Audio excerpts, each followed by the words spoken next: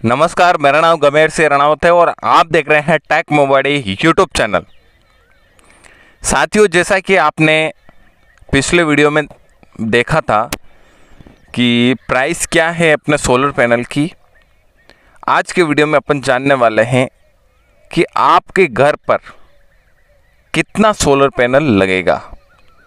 ये आप खुद घर बैठे कैसे निकाल सकते हैं?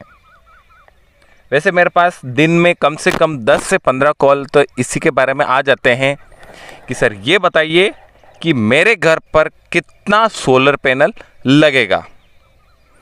तो देखिए, कुछ लोग निकालते हैं, यूनिट के हिसाब से कुछ लोग निकालते हैं, आपका इलेक्ट्रिसिटी बिल कितना आता है, कुछ निकालते हैं कि आपके घर में लोड क्या क्या चल रहा है, उसके हिसाब से निकालते हैं। मैं आपको सीधा सीधा फंडा बताता हूँ कि अगर आपके यहाँ पर 24 ही घंटे बिजली आती है, या फिर 20 से 22 घंटे बिजली आती है, और 20 से 24 घंटे के तक आप बिजली की खपत करते हैं तो सीधा सीधा फंडा है कि जितना बिल आ रहा है।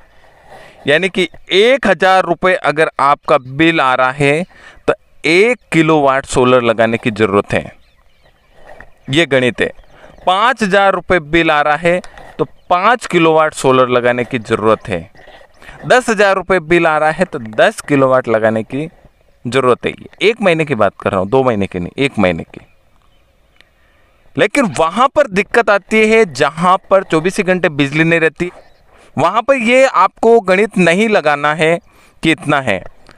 आपको गणित क्या लगाना है? जितना आपके घर में लोड है मान लीजिए एक एसी चल रही है आपके घर में। एक एसी की बात कर रहा हूँ मैं। तो नई जो एसी आ रही है वो हज़ार से बारह सौ वाट की है। उसके बाद में आपके घर में पंखे हैं, कूलर हैं टीवी हैं और आपकी हॉल्स की जो मोटर हैं, पानी भरने के लिए एक एच की, उसके बाद में आपका एक एच का आटा चक्की है। तो सीधी सीधी गणित लगानी आपको कि हज़ार से बारह सौ वाट की एसी है। तो एक एवरेजन अपन हज़ार वाट ले लेते हैं। उसके बाद में आपका आटा चक्की है। एक एचपी की आटा चक्की है।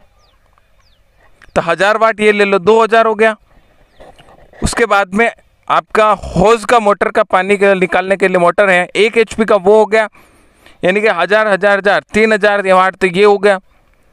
फिर उसके बाद में छोटे मोटे जितने भी सिस्टम हैं, आपके पंखे हैं, पंखे कितने होते हैं? पंखे दो से चार, ज़्यादा से ज़्यादा चार से पाँच छः पंखे हैं।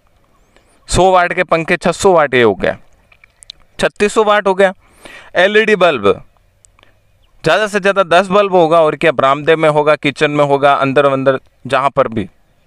सौ वाट ये हो गया। सैंतीस सौ वाट हो गया।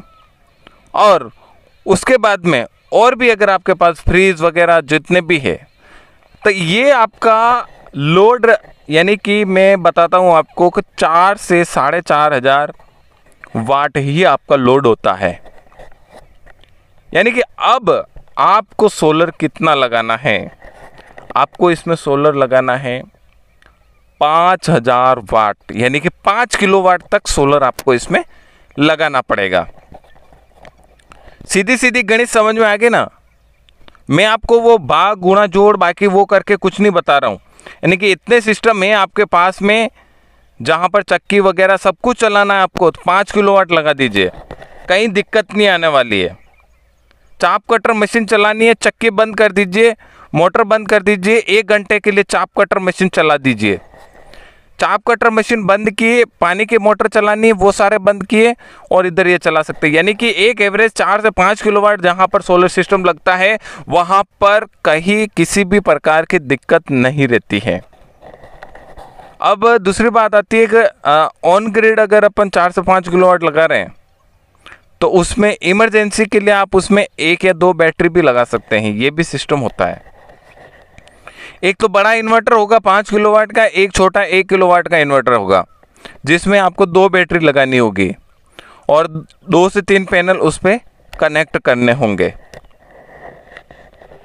तो या फिर ऐसा भी कर सकते हैं आप कि जैसे नॉर्मल इन्वर्टर होता है, वैसे इन्वर्टर लगा दीजिए और उसको चार्ज करने के लिए आप इलेक्ट्रिसिटी जैसे नॉर्मल इलेक्ट्रिसिटी यूज़ करते हैं, वैसे ही इसको चार्ज कर लीजिए और जैसे ही लाइट जाएगी, उससे आप इमरजेंसी जितने भी लाइटें हैं, वो आप उस पर कनेक्ट कर दीजिए। जैसे किचन की लाइट हो गई, यानी कि खाना बनाते बनाते आपकी घरवाली खाना बना रही है और लाइट चली गई तो भी दिक्कत हो जाती है तो वो उससे कनेक्ट करवा दीजिए आप।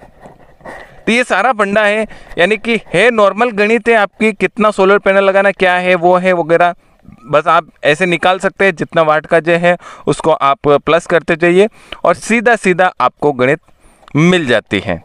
वीडियो कैसा लगा? कमेंट करके ज़रूर बताएँ। और आपके घर का कितना लोड हुआ है, वो कमेंट करके ज़रूर बताना। वीडियो को कर दीजिए लाइक और चैनल पर नए हैं तो सब्सक्राइब करके साथ में बेल आइकन यानी कि घंटी का निशान आ रहा है, उसे ज़रूर दबाना।